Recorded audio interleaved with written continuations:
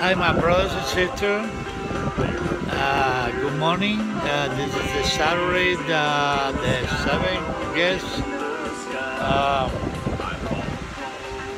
we intend to set up the hot meal for the homeless. Remember, we give the, the hot meal for the homeless every Saturday for the last 20 years at the First Party Church of Pompano Beach, right there across the street from the City Hall. Remember when we serve the, the poor, the little ones, uh, the Lord say we serve Him.